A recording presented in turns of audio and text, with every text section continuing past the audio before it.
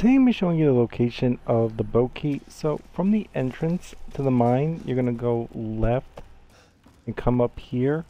There'll be a little icon over here. You're gonna smash it with your knife. Then you can drop down this way.